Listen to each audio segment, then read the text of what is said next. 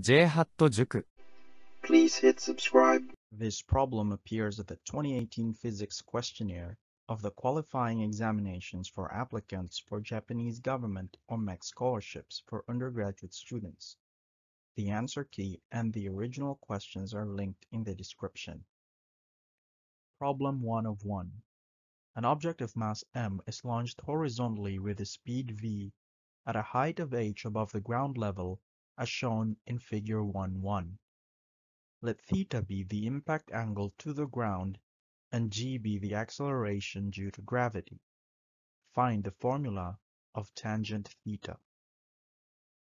Let's recall this formula from kinematics. This is when we have a motion with constant acceleration. We can get the final speed from the initial speed the acceleration, which should be constant. So this only works for constant acceleration. And here the d is the distance traveled during the acceleration. So from this we can get the final speed. The problem asks us to find the tangent of the angle of impact. So the angle of impact is the angle that the speed, the velocity vector makes with the horizontal. So that means that we are looking at the y component of the velocity and the x component of the velocity and the angle. And this angle here, this is the angle of impact theta that we're looking for.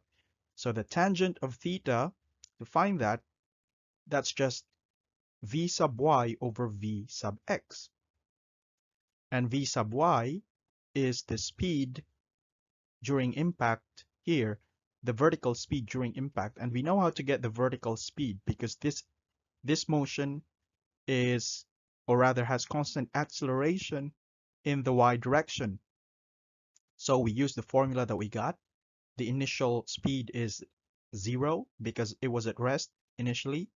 Then the acceleration is g. That's the acceleration due to gravity and it travels h. That's the vertical distance it travels to the ground and so this is this equation becomes this and we can solve for the the speed across along the y-axis and we get this.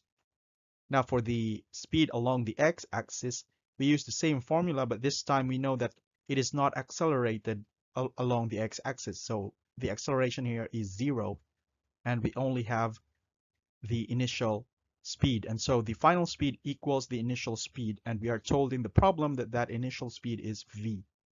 And so this tangent of theta is just this divided by this. If you learned something new today, please help my channel by clicking the subscribe button and the bell for the notifications. See ya!